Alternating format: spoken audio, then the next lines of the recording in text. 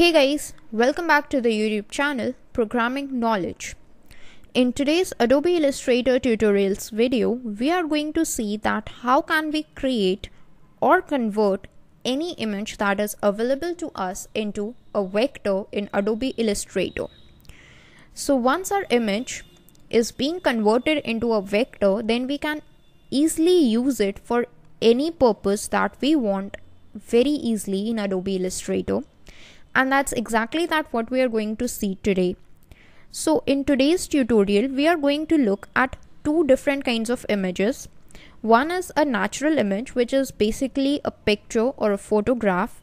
Uh, this is the kind of the scenery that we have got and first of all we are converting it into the vector and then using the same procedure we have got this kind of an image which we are going to convert into a vector. Now instead of a natural scenery that I have used over here, what you can do is just take a snap or a picture of yourself and then you can also convert it into a vector very easily and the steps that you need to follow are going to be exact same for all of the images that you are going to use with a slight difference between the natural images and the vectors. So that is the reason I have chosen uh, the natural images as well and the vectors as well. So without taking much of your time, let us jump into our tutorial and see that what steps we need to follow. So first of all, what you need to do is get an image for yourself. And as this image is concerned, I have downloaded it from the internet so if you want the same image i will share its download link in the description but if you want you can just choose any image for yourself. It can be any picture of a scenery or your picture as well.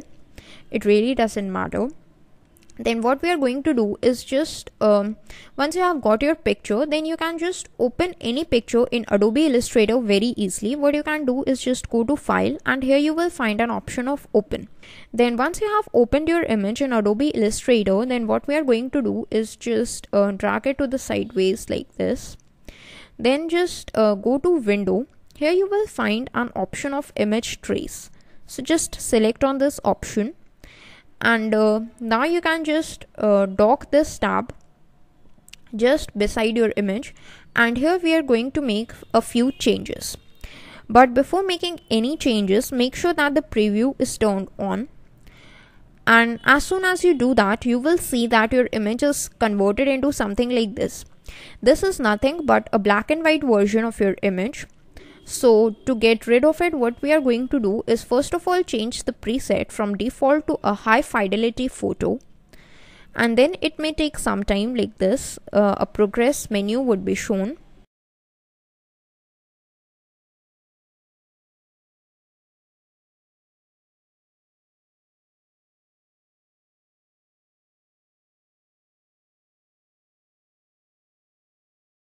and after some time you will see that uh, this is the result that you have got.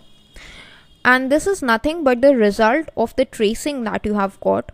And if you want you can just change your view from tracing result to tracing result with outlines. And as soon as you do that you can see all these kind of outlines. So these outlines are actually the vectors that the Adobe Illustrator image trace option has created out of the image that you provided it to. And then you can just change the colors to a full 100 then again it may take some time but uh, this time totally depends upon and once it's done uh, you can also change your uh, mode from color to a grayscale. It will help you generate a black and white version of your photo. Now if you just uh, click on the tracing result then you can see that this is the black and white version of the photo that you have got. And this is some of the information that is being shown over here which is the number of the paths that uh, the image trace option has created its anchors and how much colors it has used. Now if you want you can also increase the amount of grays to a hundred over here. And this will help you in generating a more detailed grayscale version of your photo and once you have got a final result for yourself then you can see that uh, the number of the colors has increased to 244 and this is what we have got so this is how you can just uh, trace your image using the image trace option and change it to a vector in Adobe Illustrator. Now this was a natural image. What if we get something like this in front of us? Now in this image you can see that these different shapes are available to us and when we trace this image our goal is that we would be able to edit these shapes individually so for that we are going to uh, just apply the same image trace to it but we are going to make some changes so what we are going to do is just first change its view to tracing result with outlines. And when you do that you can see these kind of the outlines created but I don't want them because I just want these vectors or these shapes to be outlined. So for that what I'm going to do is change its type from a high fidelity photo to three colors and when you do that you can see that only the shapes have been outlined like this. Also the number of the colors used are three but uh, I just want two colors which is one basically the red background and the second which is the black or the brown color with which the shapes have been highlighted.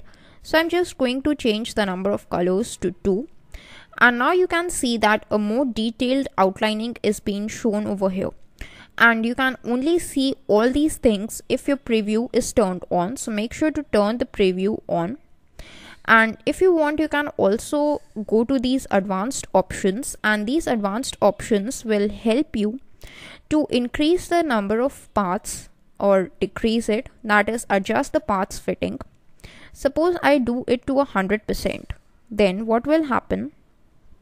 It will organize or select the precise amount of paths like here you can see if we just zoom in a little bit then here you can see that these paths are not straight but these are somewhat uh, shaky in appearance. This is because we have chosen a path fitting of hundred percent which is the highest value but if we choose it to be of a 10% then you can see that uh, this kind of uh, distorted paths have been selected so an ideal value for this would be a 50% where uh, not too much distorted or not too much defined parts would be selected but it would be selected um, as which suits our needs the most. Apart from that you can also increase the noise or reduce the noise to make sure that whatever end result that you get is the perfect that matches your requirement. So as this is concerned i'm going to change the noise to a 1 pixel and the corners I'm also going to reduce to a 20% and when you do that you will see that a more defined result is selected for yourself. Then you can just close this image trace tab press ctrl 0 to come back to the default zoom percentage. Now once you have traced your image you can just drag it to the between and then go to object and click on expand and then click on ok. Then uh, you can see that uh, this is the kind of the result that you have got. Now you can just right click and go to ungroup. So all of your uh, things would be ungrouped like this. Then what i'm going to do is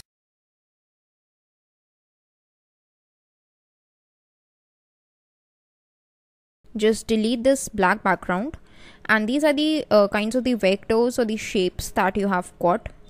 Now you can just select all of them and increase its size.